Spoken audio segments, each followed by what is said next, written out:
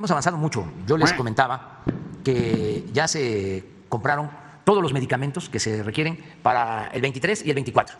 Ya están comprados. Que se requieren para centros de salud, para hospitales. Ya salimos adelante con esto que estaba eh, echado a perder por la corrupción. Era el negocio de políticos y de traficantes de influencia. Fueron las que hicieron la campaña en contra de nosotros de que no había medicamentos para niños de cáncer y toda la campaña en contra de los medios de información porque también los medios estaban este, involucrados. Nada más que eso ya se terminó. No se podía comprar los medicamentos en el extranjero. Tuvimos que hacer una reforma legal y abrir la compra a eh, países del extranjero. Hicimos un acuerdo con la ONU y ya tenemos la adquisición de los medicamentos.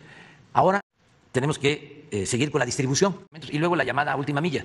Se ha avanzado mucho, ya tenemos más del 90% de abasto de medicamentos en nueve estados. Y yo espero que para mediados, más tardar a finales del año próximo, ya tengamos un sistema de salud de calidad de los mejores del mundo.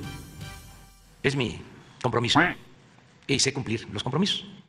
Enfrentando obstáculos, porque hay que reparar instalaciones, hay que equipar hospitales, hay que contar con los médicos generales, con los médicos especialistas. En el caso de los médicos, estamos contratando médicos de otros países. Nos ha ayudado mucho, mucho, y se lo agradecemos de todo corazón, al gobierno de Cuba. Y eh, queda eh, como compromiso público el que vamos a tener uno de los mejores sistemas de salud pública el año próximo.